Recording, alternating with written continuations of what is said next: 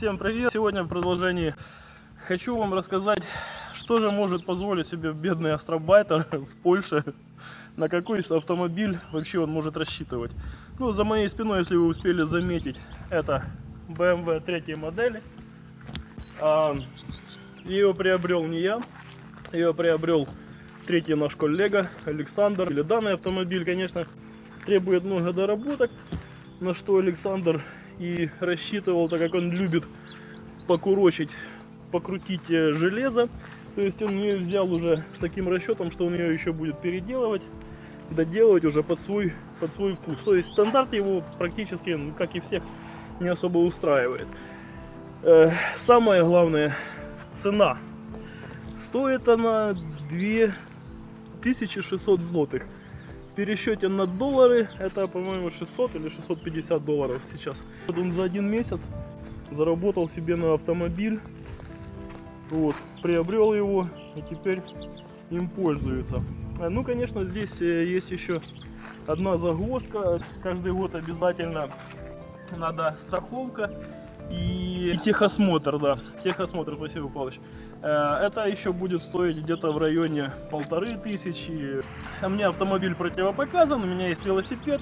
Я свой центнер выгуливаю на велосипеде. И сейчас я собираюсь э, в город Хелмжа. Э, Там есть железная дорога.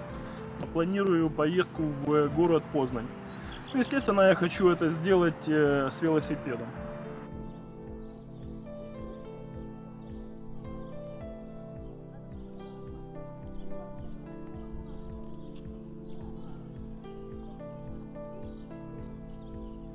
Это главная площадь городишка Хелмжа.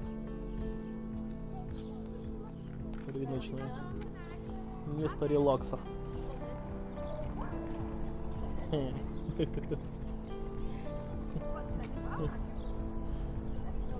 Что хотелось бы отметить вообще по поводу автомобиля здесь, я так понял, в Польше автомобили везде есть. Новые продаются в крупных городах в основном.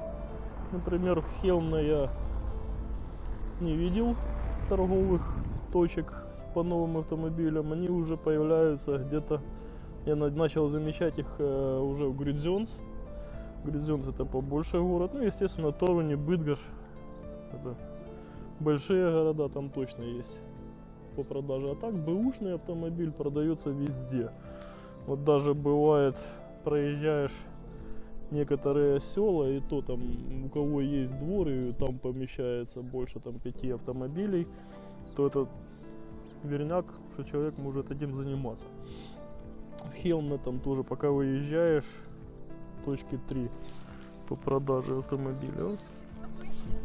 Вообще больше это страна бэушных автомобилей, дешевых, до 95 года, так более-менее дешевые выпуска, а велосипедистов, спортсменов и ветрогенераторов.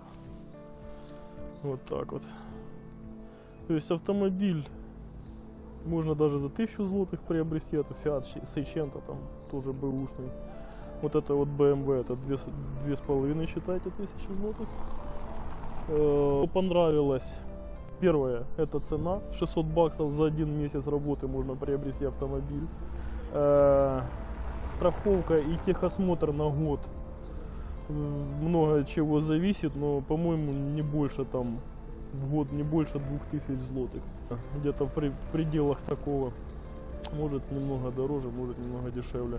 Сама регистрация. Мы покупали автомобиль буквально минут за 10 были заполнены документы и все, и автомобиль уже передан в пользование другому хозяину. Там, конечно, попозже надо будет его переоформлять. Но это тоже, по словам поляк, это занимает там буквально ну, минут 15 от силы. Оплата э, страховки и техосмотра тоже там буквально минуты. Здесь ценят твое время. Ценят свое время и твое время. То есть нет такого, что там надо собрать 3 килограмма справок. Если там не 3 килограмма или даже больше 3 килограмм, это уже не порядок. Надо пересобирать. Здесь такого пока, пока еще не сталкивался с таким. А, почему я в Хелмже? Здесь есть эм, железнодорожное сообщение. И я хочу, хочу узнать, э, можно ли отсюда добраться в город Познань. Хочу я туда попасть с велосипедом. Можно было бы это на, велосипеде сделать, но 200 километров это как минимум на дорогу идет два дня. Это только расчетные. Ну а пока так. Сейчас отдохну и поеду.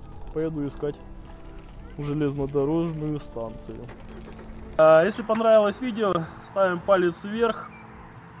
С вами искренне ваш Лобанов Сергей.